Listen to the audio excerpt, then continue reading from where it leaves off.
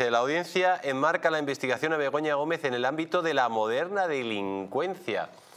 Eh, bueno, esto quiere decir que tenían una estructura súper bien preparada para presuntamente delinquir, ¿no? según la audiencia provincial.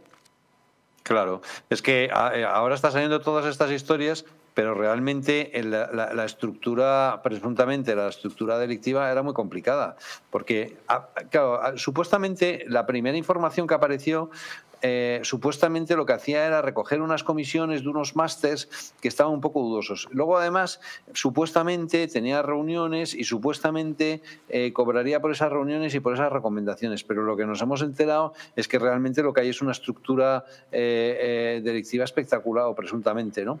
E incluso creo que presuntamente también puede que haya muchos fondos fuera de España. Yo creo que va a ser muy importante la investigación que se realice de las cuentas de Begoña Gómez y de eh, Pedro Sánchez fuera de España, o, de sus testaferros fuera de España, porque eh, puede que mucho de ese dinero esté fuera. Lo digo porque... ¿Puede que estén en paraísos fiscales? Sí, sí, puede que estén paraísos fiscales.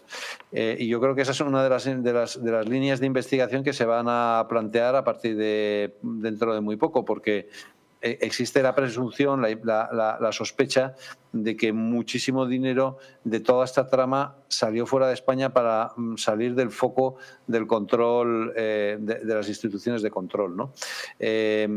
Así que bueno, vamos a ver, yo creo que esto no ha hecho más que empezar, pero es que ahora mismo ya lo que ya sabemos es que la mujer del presidente está imputada desde el 9 de abril, que es en el momento en el que ella nombra abogado es que el día 24 fue cuando el presidente hizo la carta y dijo que su mujer era honrada, etcétera, etcétera. Su mujer está siendo investigada por presunta corrupción. O sea que eh, el, señor Milei, el presidente de Argentina, la llamó corrupta, lo que tenía que haberle llamado es imputada. Y entonces, eh, eh, ¿esto entra dentro del código ético del Partido Socialista? ¿Se puede mantener alguien en, en un puesto de responsabilidad política tan grande como la presidencia de gobierno estando tu mujer imputada por presunta corrupción? Y en el Partido Socialista nadie tiene nada que decir.